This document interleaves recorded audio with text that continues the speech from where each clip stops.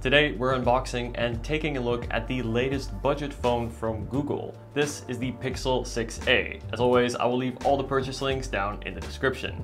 Now I'm really excited to see uh, what this phone has to offer for what is a really compelling price, coming in at just $449. Uh, as well as that, we have four different color options, uh, no, three different color options.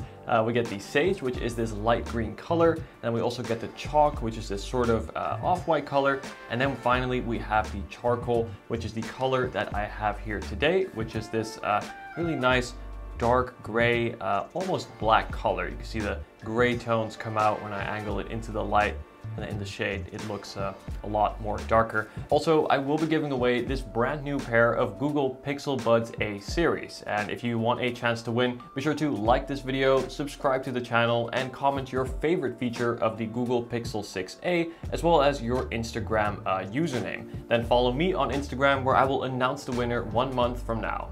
All right, so let's go ahead and take a closer look at the phone here. Go ahead and lift it out of the box from this little pull tab. And again, this color looks good. Uh, first impressions off the uh, right off the bat, it definitely feels uh, quite dense in the hand. Here we have that sticker on the front showing you where the uh, SIM slot is, your uh, under-screen fingerprint reader, USB-C port, volume and power toggles as well. Go ahead and peel that off. That is always satisfying no matter which phone it is. So here we go. This looks uh, looks really nice. I have to say, for the price, uh, definitely looks and feels quite premium. We get those aluminum edges here on the side, which feel nice and cold to the touch. Glass on the front, glass on the back as well. Uh, let's see what else is included in the box. So here we have a Pixel 6a Google Tensor. Uh, so it is pretty cool to see that this also has the Tensor chip, which is of course the same one uh, as from the Pixel 6 Pro.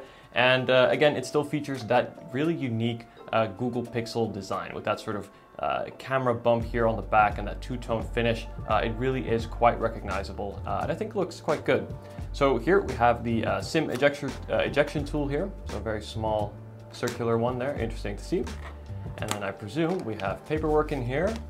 Look got a little blue Google pamphlet, very simple, quick start guide, and a very thick little book, uh, very small but, uh, but thick little warranty information booklet. Uh, is that really necessary? I don't know, but they have sure included it. Uh, and then lastly, we have the USB-C cable, uh, which feels quite nice actually. It has kind of a, uh, a soft touch to it. Let's take a closer look. You know, I always appreciate it when uh, manufacturers include decent quality cables uh, in the box, Apple, um, and this cable here looks quite nice. Uh, again, has a nice sort of soft feel to the, uh, to the touch here.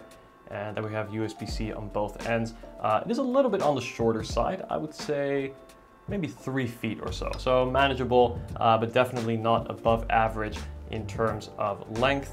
And then lastly in the box, we do have an adapter, something that you will rarely find these days in phone boxes. Uh, we have a USB-A port on the back to USB-C. And this is great because uh, this means you will be able to use any older USB-A chargers uh, that you may have lying around. Uh, and also lets you use older USB-A cables uh, if you have those too. So nice of Google to include this in the box.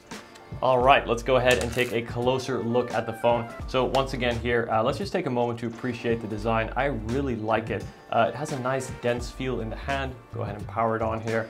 Uh, nice metal buttons as well, which feel uh, clicky. And uh, I like the metal frame that really feels good to the touch. And there we go as it boots up. So once again, we do have that Tensor chip, which is the same from the Google 6 Pro. Uh, so this should perform quite well. And one thing I'm really looking forward to testing uh, is Google's claims of over 24 hours of battery life uh, with the adaptive battery life feature, uh, which should adapt to how you use the phone over time and then adjust your settings accordingly to really allow you to get the most out of this device.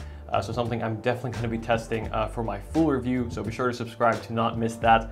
Uh, as well as that, we also get intelligent photography, and of course, Pixels are known for their incredible camera quality, and more specifically, their computational photography with which they use AI to improve your photos. So that allows for tools like Magic Eraser, allowing you to remove objects from the background, uh, better night photography, and uh, according to Google, also very accurate skin tones. And then on the front here, we have that 6.1 inch OLED display. Now this is a 60 hertz display. Uh, of course, you will have some phones that do have 120 hertz, even at this price range.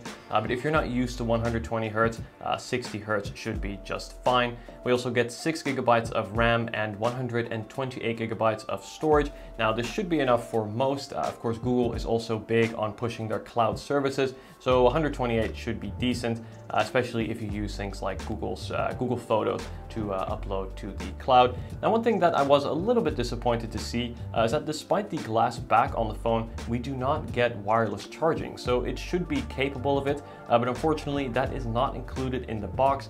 Uh, speaking of which, the battery is 4400 milliamp hours. So I think for the size phone, uh, as well as considering that this has that 60 hertz display, uh, that is a pretty beefy battery. So I'm really looking forward to, uh, to seeing how this phone performs. This is actually going to be my first Pixel phone. Uh, and I gotta say, I've heard mixed things about the Pixel line over the years uh, both good and, well, let's say bad. um, so I'm gonna go into this with an open mind as I do with all of my videos, and I'm really gonna be curious to see how this thing performs to really uh, test all of the key aspects of this phone and ultimately answer the question of whether this is the best budget phone to get right now. I'm also curious to see how it's going to compare to the iPhone SE, as in many ways these phones are quite similar. They both have flagship processors from the uh, Apple processor, as well as of course that Tensor chip, but in a much more affordable uh, and compact design. So it'll be interesting to see how these two phones compare. So anyway guys, that's it for the unboxing and my initial impressions of this phone. Let me know if you have any questions or anything in particular that you'd like me to check out for my full review video. If you haven't seen them yet, I highly recommend watching my iPhone SE review as well as my S22 long-term review. Thank you so much for watching guys and I'll see you in the next video. Take care.